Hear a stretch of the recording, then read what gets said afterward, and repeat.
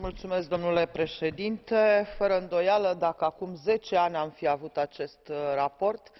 am fi putut discuta despre investiții în, uh, pe termen lung în domeniul social și despre uh, viabilitatea lor. Am fi avut o probă. Acest raport însă este binevenit și astăzi, cu o condiție, anume aceea ca să fie implementat foarte rapid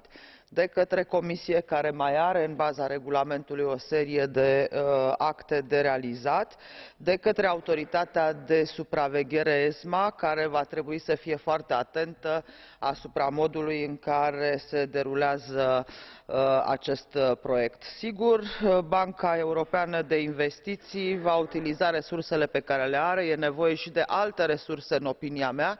pentru ca fondul să devină efectiv și viabil în realitatea economică uh, mai ales în uh, ceea ce privește micile comunități acolo unde văd eu un potențial foarte mare de sprijin pentru creștere dezvoltare și locuri uh, de muncă.